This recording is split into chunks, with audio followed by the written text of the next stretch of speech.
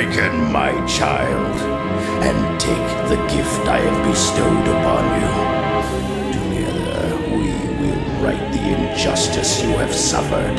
I'm back to serve my king. Serve in his own head for what he's done. Flesh of my flesh, blood of my blood. Those with whom you choose to share my gift shall become your soldiers in undeath. Cease your suffering and restore balance to the land. What is that thing?